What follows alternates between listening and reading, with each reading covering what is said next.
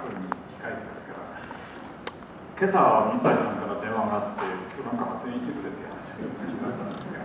僕はこの裁判が始まる時にやっぱり神奈川ローレンよく見切ったやっぱり最近闘争の新たな挑戦に神奈川ローレンが挑もうとしたことに対して本当に心から敬意を表しているものですあの私の現役時代最近闘争をどう評価するかまあ、最近体験なんか全国の仲間たちがやってですね今の最近では増えないということはもうずっとはっきりしてたわけですね、まあ、だけどなかなかという時に、まあ、国会などでのいろんな動きもあって生活保護と最近問題が出てて、まあ、今日も全労連が言った話になってますがの生活保護を下回る最近というのはおかしいじゃないか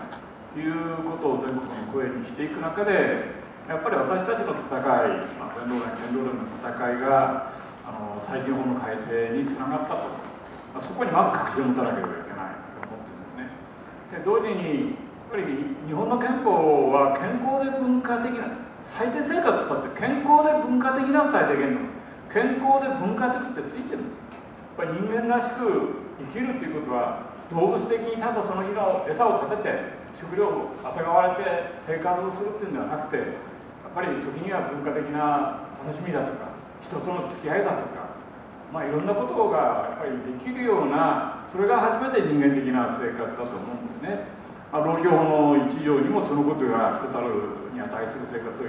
を満たすものでなきゃいけない。そういう点で言うならばやっぱり憲法そして労働違反の最近ということをもっともっと大きな声で言ってもいいと思うんですね。あじゃあ一体最低限度の生活ってどの程度のものなのか。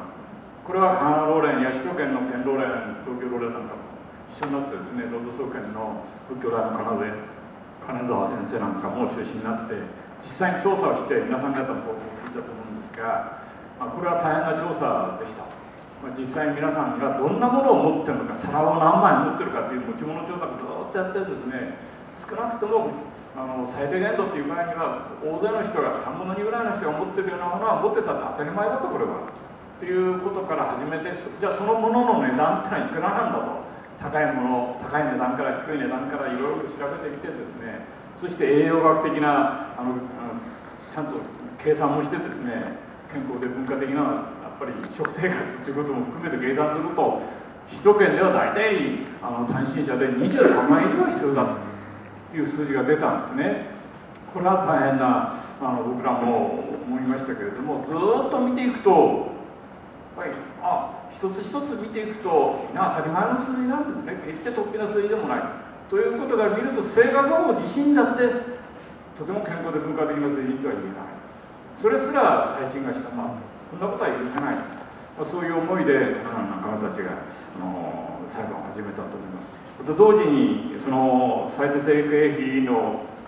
調査を東北でもやったんですね東北ブロックの仲間たちが中心になって。結果的にはね同じようにやっぱり23万円ぐらい必要だってなったんですね。ただ中身に違いが出る。確かに物価なんかは東北は安いしかし公共交通がズタズタに切り裂かれていく中で車を持たないと仕事にも行けない。日常生活もできないという中でそういう交通関係費なんかが若干首都圏よりは高い。しかし合計するとですねほぼそうだ。という意味で言うならば全国一律でやっぱり最低賃金は作んなきゃいけない。そして同じ水準で保障することによって最低限度の生活が全国の労働者に保障されるんではないかという裏打ちがその調査によっても明らかになることができた、まあ、そういう点では労働総研も一定の貢献をしているのかなと思ってますしぜひ裁判の中でもですねそういった資料を大いに活用していただければと思っています。あの先ほど言われてやっぱりこの神奈川の戦いは単に神奈川だけの戦いではなくてやっぱり全国的な大きな世論にしていくようにまあ、労働総研の立場からも応援していきたいと思ってますし、まあ、神奈川労連としても全労連にもっと大きな声で言ってですね全国の仲間にアピールしていただければと思います。感想的に。